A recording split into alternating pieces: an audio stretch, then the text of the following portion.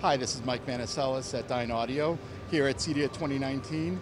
One of the new introductions for us at this show is uh, news that our Dynaudio Connect wireless transmitter will now be available to be integrated into control systems with new drivers launched uh, for Elan, Control 4, and Crestron, with Savant coming later this year. And that'll allow integrators to utilize products from our active uh, Xeo and Focus XD model ranges, as well as our music series in custom applications and control systems. More information is available online at dynaudio.com. Thank you guys.